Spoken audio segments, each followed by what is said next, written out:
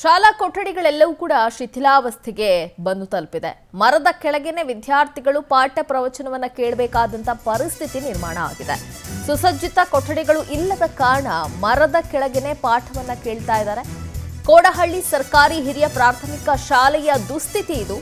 ಚಾಮರಾಜನಗರ ಜಿಲ್ಲೆ ಗುಂಡ್ಲುಪೇಟೆ ತಾಲೂಕಿನ ಸರ್ಕಾರಿ ಶಾಲೆ ಇದು.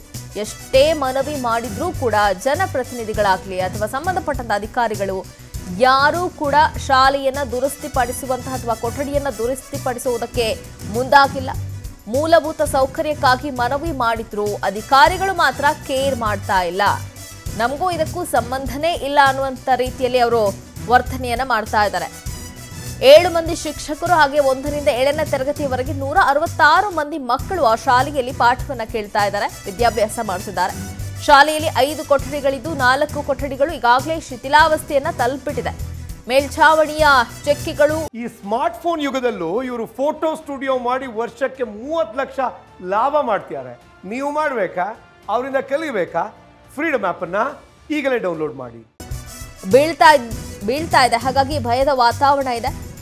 ಎರಡು ಕೊಠಡಿಯ ಗೋಡೆಗಳು ಸಹ ಬಿರುಕು ಬಿಟ್ಟಿದ್ದು ಬೀಳುವ ಸ್ಥಿತಿ ತಲುಪಿದೆ. ಹಾಗಾಗಿ ಭಯದಲ್ಲೇ ಮಕ್ಕಳು ಪಾಠವನ್ನ ಕೇಳಬೇಕಾದಂತ ಪರಿಸ್ಥಿತಿ. ಶಾಲೆಯಲ್ಲಿ ಏಳು ಶೌಚಾಲಯಗಳಿದ್ರೂ ಅದರಲ್ಲಿ ಒಂದು ಮಾತ್ರ ಬಳಕೆ ಆಗ್ತಾ ಇದೆ. ಶಾಲಾ ಕಟ್ಟಡದ ಸುತ್ತಲೂ ಗಿಡಗಳು ಬೆಳೆದು ನಿಂತು ಏನು ಅಲ್ಲಿ ಯಾವುದೇ ರೀತಿಯ ಸ್ವಚ್ಛತೆ ಕೂಡ ಇಲ್ಲ. ಇಷ್ಟಾದರೂ ಗಮನ ಹರಿಸ್ತಾ ಇಲ್ಲ ಜನಪ್ರತಿನಿಧಿಗಳು ಹಾಗೆ ಅಧಿಕಾರಿಗಳು. ದೃಶ್ಯಾವಳಿಯಲ್ಲಿ ನೀವು ಗಮನಿಸ್ತಾ ಇದ್ದೀರಿ. ಚಾಮರಾಜನಗರದ ಸರ್ಕಾರಿ ಶಾಲೆಯ ದುಸ್ಥಿತಿ ಇದು. ಶಾಲಾ ಕೊಠಡಿಯ ಗೋಡೆಗಳು ಶಿಥಿಲಾವಸ್ಥೆಗೆ ಬಂದು ತಲುಪಿರೋದ್ರಿಂದ ಅಲ್ಲಿ ಕೊಠಡಿಯ ಒಳಗಡೆ ಪಾಠ ಮಾಡೋದಕ್ಕೂ ಕೂಡ ಶಿಕ್ಷಕರಿಗೂ ಭಯ, ಪಾಠ ಕೇಳುವುದಕ್ಕೆ ಮಕ್ಕಳಿಗೂ ಕೂಡ ಭಯ. ಹೀಗಾಗಿ ಮರದ ಕೆಳಗೇನೆ ಪಾಠವನ್ನ ಕೇಳಬೇಕಾದಂಥ ಪಾಠ ಮಾಡಬೇಕಾದಂಥ ದುಸ್ಥಿತಿ ಇದೆ.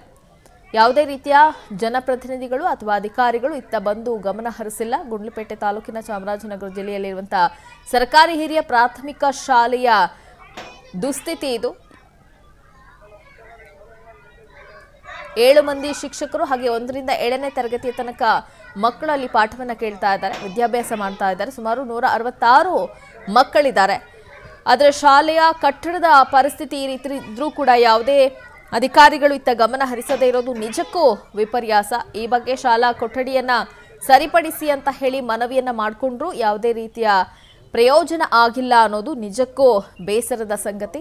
ಇದರ ಜೊತೆಗೆ ಆ ಶಾಲೆಯಲ್ಲಿ ಸುಮಾರು ಏಳು ಶೌಚಾಲಯ ಇದೆ. ಅದರಲ್ಲಿ ಒಂದು ಮಾತ ಮಾತ್ರ ದುಸ್ಥಿತಿಯಲ್ಲಿದೆ. ಸ್ಥಿತಿಯಲ್ಲಿರುವಂಥದ್ದು ಮತ್ತೆಲ್ಲವೂ ಕೂಡ ದುಸ್ಥಿತಿಯಲ್ಲಿದೆ.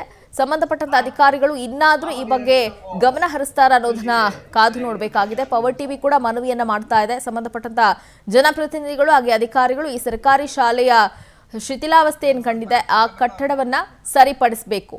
ಈ ಸ್ಮಾರ್ಟ್ ಫೋನ್ ಯುಗದಲ್ಲೂ ಇವರು ಫೋಟೋ ಸ್ಟುಡಿಯೋ ಮಾಡಿ ವರ್ಷಕ್ಕೆ ಮೂವತ್ತು ಲಕ್ಷ ಲಾಭ ಮಾಡ್ತಿದ್ದಾರೆ. ನೀವು ಮಾಡಬೇಕಾ? ಅವರಿಂದ ಕಲಿಬೇಕಾ? ಫ್ರೀಡಮ್ ಆ್ಯಪನ್ನು ಈಗಲೇ ಡೌನ್ಲೋಡ್ ಮಾಡಿ.